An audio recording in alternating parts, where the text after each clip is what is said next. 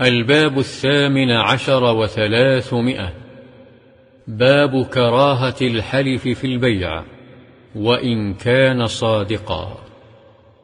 عن أبي هريرة رضي الله عنه قال سمعت رسول الله صلى الله عليه وسلم يقول الحلف منفقة للسلعة ممحقة للكسب. متفق عليه. وعن أبي قتادة رضي الله عنه قال سمعت رسول الله صلى الله عليه وسلم يقول إياكم وكثرة الحلف في البيع فإنه ينفق ثم يمحق.